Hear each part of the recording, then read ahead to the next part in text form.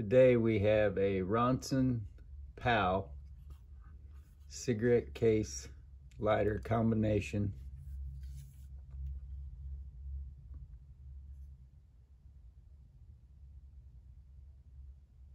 Very clean, good tension. This would have held cigarettes that are shorter than today.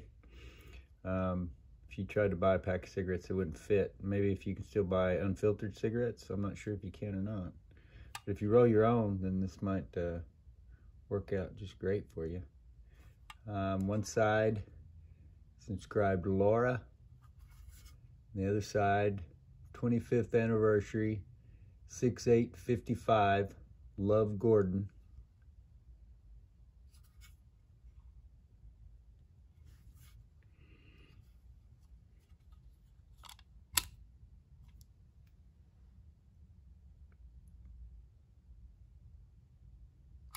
Really nifty the way that the case forms the windproof part of the lighter there. Um,